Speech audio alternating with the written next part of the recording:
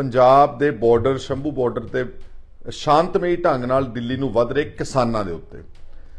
Issue ਅੱਜ ਦਾ ਇਹ ਆ ਕਿ ਜਿਹੜਾ ਜੋ ਕੁਝ ਹਰਿਆਣਾ ਪੁਲਿਸ ਨੇ ਕੱਲ ਜਿਹੜਾ ਬੈਰੀਕੇਡਿੰਗ ਕੀਤੀ ਸੀ, ਉਹ ਸਾਡਾ ਏਰੀਆ ਵਾ। ਘੱਗਰ ਦਰਿਆ ਜਿਹੜਾ ਹੈ, ਉਹ ਪੰਜਾਬ ਦਾ ਦਰਿਆ ਵਾ। ਔਰ ਉਹਦੇ ਜਿਹੜਾ ਬ੍ਰਿਜ ਹੈਗਾ, ਉਹਦੇ ਸੈਂਟਰ 'ਚ ਆਣ ਕੇ ਹਰਿਆਣਾ ਪੁਲਿਸ ਨੂੰ ਕੋਈ ਅਧਿਕਾਰ ਨਹੀਂਗਾ ਕਿ ਉਹ ਆਣ ਕੇ ਬੈਰੀਕੇਡਿੰਗ ਕਰੇ ਕੰਡੇ ਵਾਲੀ ਤਾਰਾਂ ਲਾਉਣ ਔਰ ਉੱਥੇ ਸਾਰੀ ਪੁਲਿਸ ਫੋਰਸ ਇੱਥੇ ਲੈ ਆਉਣ। ਇਹਦਾ ਮਤਲਬ ਹਰਿਆਣਾ ਪੁਲਿਸ ਕੱਲ ਸਾਡੇ ਵਾਲਾ ਪੰਜਾਬ ਦੇ ਵਿੱਚ ਆਣ ਕੇ ਖੜ ਗਈ ਸੀਗੀ। ਔਰ ਉੱਥੋਂ ਫਿਰ ਉਹਨਾਂ ਨੇ ਡਰੋਨ ਰਾਹੀਂ ਕਿਸਾਨਾਂ ਦੇ ਉੱਤੇ ਜਿਹੜੇ ਸੀਗੇ ਉਹ ਬੇਤਹਾਸ਼ਾ ਜਿਹੜੀ ਸ਼ੈਲਿੰਗ ਕੀਤੀ, ਮਤਲਬ ਟੇਅਰ ਗੈਸ ਸ਼ੈਲਿੰਗ ਕੀਤੀ। ਸਾਰਾ ਦਿਨ ਚੱਲਦੀ ਰਹੀ ਆ। ਕਿਉਂਕਿ ਮੈਂ ਵੀ ਮੈਂ- ਮੈਂ ਜਦੋਂ ਗਿਆ ਬਿਲਕੁਲ ਐਨ ਫਰੰਟ ਤੇ ਮੌਕੇ ਤੇ, ਉੱਥੇ ਸਾਹ ਲੈਣਾ ਔਖਾ ਸੀਗਾ। ਅੱਖਾਂ, ਪਾਣੀ, ਮਤਲਬ ਇੰਨਾ ਜ਼ਿਆਦਾ ਅੱਖਾਂ ਨੂੰ ਟਰਬਲ ਕਰਦਾ ਸੀ ਇਚਿੰਗ ਹੁੰਦੀ ਸੀਗੀ। ਔਰ ਫਿਰ ਉੱਥੋਂ ਦੀ ਇਹਨਾਂ ਨੇ ਹਰਿਆਣਾ ਪੁਲਿਸ ਨੇ ਪੰਜਾਬ ਦੀ ਧਰਤੀ ਵਿੱਚ ਖੜ ਕੇ ਸਾਡੇ ਕਿਸਾਨ ਜਿਹੜੇ ਨਿਹੱਤੇ ਸੀ, ਜਿਹੜੇ ਬਿਲਕੁਲ ਸ਼ਾਂਤਮਈ ਢੰਗ ਦੇ ਨਾਲ ਉਹਨਾਂ ਨੇ ਪ੍ਰੋਗਰਾਮ ਆਪਣਾ ਉਲੀਕਿਆ ਸੀ, ਉਹਨਾਂ ਦੇ ਕਈ ਤਰ੍ਹਾਂ ਦੀਆਂ ਗੋਲੀਆਂ ਮਾਰੀਆਂ whether it was rubber bullets or it was some other shell ਜਿਹੜੇ ਖੋਲ ਵੀ ਦਿਖਾਏ ਹੋਏ ਉੱਥੇ ਲੋਕਾਂ ਨੇ, ਕਿਸਾਨਾਂ ਨੇ, ਉਹਦੇ ਨਾਲ ਬਹੁਤ ਇੰਜਰੀਜ਼ ਹੋਈਆਂ ਨੇ। ਬਹੁਤ ਸਾਰੀਆਂ ਮਤਲਬ ਜ਼ਿਆਦਾ ਸੱਟਾਂ ਵੱਜੀਆਂ ਨੇ ਕਿਸਾਨਾਂ ਦੇ ਈਵਨ ਪੱਤਰਕਾਰਾਂ ਦੇ। ਇੱਕ ਪੱਤਰਕਾਰ ਮੇਰਾ ਬੜਾ ਅਜ਼ੀਜ਼ ਦੋਸਤ ਆ ਨੀਲ ਭਲਿੰਦਰ ਸਿੰਘ ਉਸ ਦੇ ਮੇਰੇ ਖਿਆਲ ਇੱਥੇ ਅੱਖ ਦੇ ਉੱਤੇ ਬਿਲਕੁਲ ਅੱਖ ਬਚ ਗਈ ਉਹਦੀ। ਉਹਦੇ 5 ਕੇ 6 ਟਾਂਕੇ ਲੱਗੇ ਨੇ।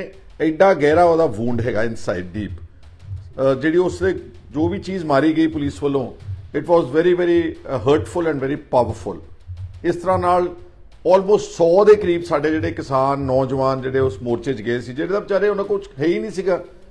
ਤੇ ਉਹਨਾਂ ਦੇ ਬੇਲੋੜਾ ਜਿਹੜਾ ਅਨਲਿਸ਼ ਕੀਤਾ ਗਿਆ ਸਟੇਟ ਪਾਵਰ ਵੱਲੋਂ ਜਿਹੜਾ ਜ਼ੁਲਮ ਢਾਇਆ ਗਿਆ ਵਾ, ਉਹਦੇ ਕਰਕੇ 100 ਦੇ ਕਰੀਬ ਜ਼ਖਮੀ ਹੋਏ ਨੇ। ਹੁਣ ਭਗਵੰਤ ਮਾਨ ਤੇ ਕੇਜਰੀਵਾਲ, ਲਫ਼ਜ਼ਾਂ ਨਾਲ ਕਹਿੰਦੇ ਨੇ ਕਿ ਅਸੀਂ ਪੰਜਾਬ ਕੇ ਅੰਦੋਲਨ ਕੇ ਸਾਥ ਹੈ, ਹਮ ਅਸੀਂ ਪੰਜਾਬ ਦੇ ਕਿਸਾਨਾਂ ਦੀ ਮਦਦ ਕਰਾਂਗੇ। ਪਰ ਹੁਣ ਐਕਸ਼ਨ ਦਾ ਵੇਲਾ ਵਾ। ਕੀ ਭਗਵੰਤ ਮਾਨ ਜਿਹੜੀ ਹਰਿਆਣਾ ਨੇ ਆਣ ਕੇ ਸਾਡੇ ਚ ਇੰਟਰੂਜਨ ਕੀਤੀ ਆ, ਜਿਹੜਾ ਸਾਡੇ ਹਮਲਾ ਜਾ ਕੀਤਾ ਇੱਕ ਕਿਸਮ ਦਾ ਤੇ ਕਿਸਾਨਾਂ ਨੂੰ ਇੰਜਰ ਕੀਤਾ, ਉਹਨਾਂ ਦੇ ਸਾਰਿਆਂ ਦੇ ਕੋਲ ਮੈਡੀਕਲ ਰਿਪੋਰਟਸ ਨੇ ਐਮਐਲਆਰ ਕਹਿੰਦੇ ਨੇ ਉਹਨੂੰ ਮੈਡੀਕਲ ਟਰਮਸ ਦੇ ਵਿੱਚ।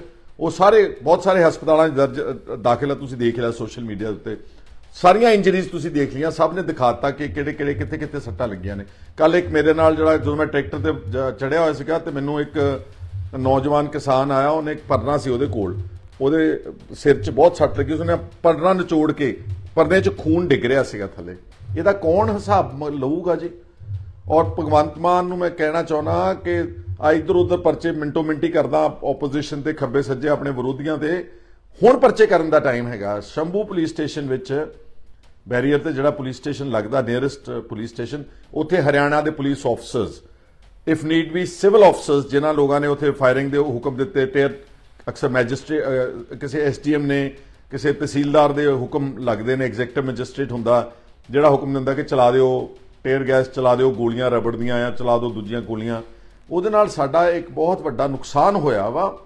ਔਰ ਮੈਂ ਜਿਹੜੀ ਗੱਲ ਕਹਿਣਾ ਚਾਹੁੰਦਾ ਕਿ ਘੱਗਰ ਦਰਿਆ ਸਾਡਾ ਵਾ, ਪੁਲ ਸਾਡਾ ਵਾ ਐ ਤਾਂ ਕੱਲ ਨੂੰ ਹਰਿਆਣੇ ਦੀ ਪੁਲਿਸ ਪੰਜਾਬ ਦੇ ਵਿੱਚੋਂ ਜਿਹਨੂੰ ਮਰਜ਼ੀ ਚੱਕ ਕੇ ਲੈ ਜਾਇਆ ਕਰੂਗੀ। ਜੇ ਅੱਜ ਆਪਾਂ ਨਹੀਂ ਰੋਕਾਂਗੇ ਉਹਨਾਂ ਨੂੰ, ਨਾਲੇ ਇੱਥੇ ਇਮਤਿਹਾਨ ਦੀ ਘੜੀ ਆ ਕੇਜਰੀਵਾਲ ਔਰ ਭਗਵੰਤ ਮਾਨ ਦੀ। Do they stand with Punjab? Do they stand with the farmers of Punjab? Do they stand with the youth of Punjab? ਔਰ will they stand with the officers ਔਰ ਪੁਲਿਸ ਆਫੀਸਰਸ ਆਫ ਹਰਿਆਣਾ ਇਹ ਇਮਤਿਹਾਨ ਹੈ ਇਸ ਕਰਕੇ ਮੈਂ ਤੁਹਾਡੇ ਡੋਮੇਨ 'ਚ ਲਿਆਂਦਾ ਵਾ। ਇਸ ਨੂੰ ਥੋੜਾ ਜ਼ਿਆਦਾ ਸ਼ੇਅਰ ਕਰਕੇ ਪਹੁੰਚਾਓ ਤਾਂ ਕਿ ਉਹਨਾਂ ਅ, ਜ਼ਿੰਮੇਵਾਰ ਪੁਲਿਸ ਆਫਸਰ ਦੇ ਉੱਤੇ ਪਰਚੇ ਦਰਜ। ਤੇ ਜੇ ਭਗਵੰਤ ਮਾਨ ਪਰਚਾ ਨਹੀਂ ਦਰਜ ਕਰਦਾ ਤੇ ਮਹਿਜ਼ ਗੱਲਾਂ ਹੀ ਕਰਦਾ ਵਾ ਤਾਂ ਫਿਰ ਮੈਂ ਸਮਝਦਾ ਕਿ ਸਰਾਸਰ ਉਹਦੀ ਨਲੇਕੀ ਮੰਨੀ ਜਾਊਗੀ ਗਲਤ ਗੱਲ ਹੋਊਗੀ। ਇਹਦਾ ਮਤਲਬ ਪੁਲਿਸ ਪੰਜਾਬ ਦੀ ਸਿਰਫ ਸਾਡੇ ਵਰਗਿਆਂ ਦੇ ਉੱਤੇ ਜ਼ੁਲਮ ਢਾਉਣ ਤੇ ਭਾਨੇ ਸਿੱਧੂ ਨੂੰ ਚੱਕ ਲਓ ਤੇ ਵਿਰੋਧੀਆਂ ਨੂੰ ਚੱਕ ਲਓ ਤੇ ਫਲਾਣੇ ਨੂੰ ਚੱਕ ਲਓ। ਇਹ ਪੰਜਾਬ ਪੁਲਿਸ ਦਾ ਵੀ ਇੱਕ ਇਮਤਿਹਾਨ ਦੀ ਘੜੀ ਆ। ਅਦਰਵਾਈਜ਼ ਉਹਨਾਂ ਨੂੰ ਇੱਕ ਖੁੱਲਾ ਰਸਤਾ ਮਿਲ ਜਾਵੇਗਾ।